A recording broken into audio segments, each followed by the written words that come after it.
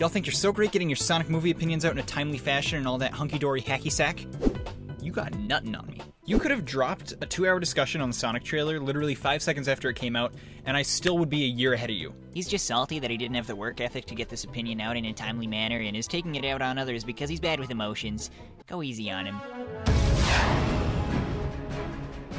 Dad, stop. You're embarrassing me in front of my friends. This is 2017, Peter, and he's a freaking wizard who can spot a bad movie from a light year away. No, honestly, I really admire 2017 Peter.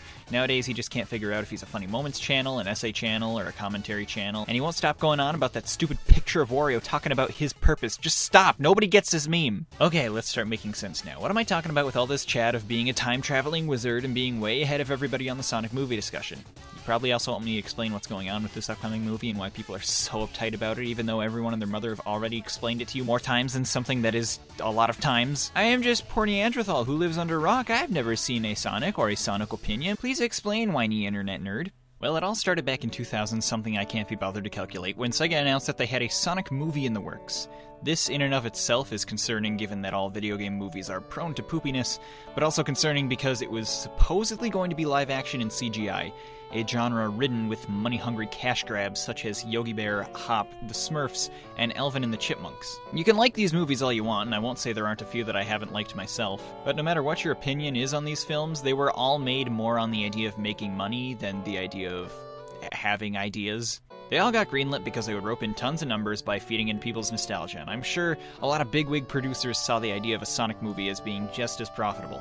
At the time this was announced, I decided to make a light-hearted, reasonable video on why this movie was going to end all peace and happiness leading to the second apocalypse. Now, some people were a little upset with this video, a few weren't very fond of my negative expectations, as most audiences tend to be, and a lot more were upset that I made a video talking about the Sonic movie, but it ended up just ranting about Alvin and the Chipmunks for 10 minutes straight, with really, really choppy looking footage. Oh, gee, I thought this was going to be a video about what you expected from the Sonic movie, not a thesis on a movie about chipmunks eating poop. Excuse you? Are you not entertained? Did you see the thumbnail? There's a picture of Alvin taking up 3 trillion percent of the image. The video's 13 minutes. You expect me to talk about something that doesn't even exist yet and still have enough substance to get that 10 minute ad revenue? So at the time, my video didn't fare too well with audiences, and yeah, I get it. I was just really mad at Alvin that week, okay? Anyway, the video sat in my upload list for a good year or so, and it did fine with views overall, but I had generally forgotten about it, seeing as Sega hadn't added any new information to the topic of the Sonic movie in a long time. It wasn't a very popping topic for the most part.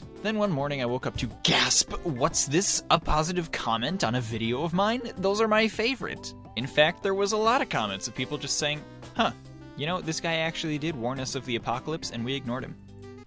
Guess I'll like the video before we all die. So, why were people suddenly interested in a video that I'd uploaded over a year ago, especially when the thumbnail of that video had some random Spyro level art in the background? What made me think to do that? Well, it turns out on that fateful day, Paramount had released the first trailer for the forthcoming Sonic movie, and it was well, this movie really was going to end all peace and happiness and lead to the second apocalypse. The internet actually threw a hissy fit that day over a trailer for a movie that nobody even seemed to care much about before. Why? Sonic Teeth. Needless to say, this trailer outraged a ton of fans and non fans of Sonic the Hedgehog for many reasons, blah blah blah, you've heard it all before. People didn't like the look, the voices, the effects, the setting, the lore, the teeth, the shoes, the music. Opinions were flying everywhere with the force of a thousand suns, and as we have seen, opinions are very unhealthy for internet people. The overall consensus was that the trailer was trash, and everything that we had progressed towards as a human race was lost. But in my own circle, I actually saw a lot of people being pretty optimistic about this thing. Turns out that this trailer was a little more diverse in reception than all the memes and commentary videos would have you think. Some people actually liked how Sonic looked, and liked the dialogue, and liked the music choice, and okay, I mean, nothing wrong with a little optimism. I probably would have had similar opinions a couple years ago. Now, at this point, people have already fed you about a million calories of Sonic movie trailer opinions, and I don't want to waste your time with just another opinion on it, so I'll keep my opinions brief. At first glance, everything about this trailer looks the opposite of what they should be doing. This doesn't look like Eggman. This doesn't look like Sonic. This is James Marsden from that other movie where he has a furry friend in a car and it's shot like a scene from Seinfeld. Gangster's Paradise isn't a Sonic song. What are you goofs doing? So here's the thing. I watched the trailer, and the only thing I liked about it was Jim Carrey as Eggman. Not because he was funny or looked like Eggman, but because he was overacting all the time, because that's what Jim Carrey does, and it's it's entertaining. Then I saw other people dislike it, and I thought, oh well, I guess it's just bad, and that's it. I guess I'll go on about my day, sit in a chair for 10 hours clicking on stuff. Then I started seeing that there were actually a good amount of people defending the trailer, saying that even though it wasn't accurate to the source material, it was actually bordering on self awareness just enough to seem like a parody. And I heard these opinions, and logically, I thought to myself,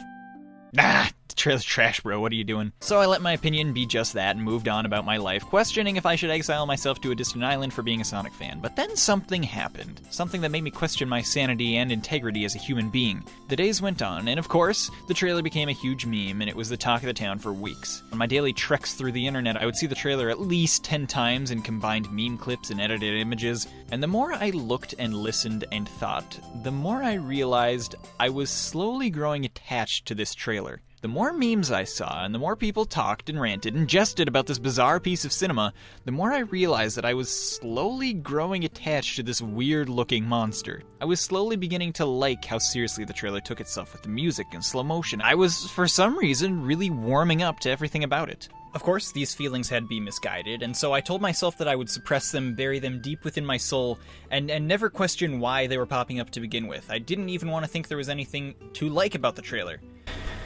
But then something happened that gave me a strange awakening.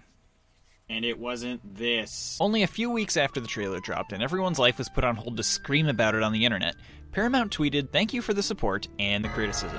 The message is loud and clear. You aren't happy with the design and you want changes. It's going to happen. Everyone at Paramount and Sega are fully committed to making this character the best he can be.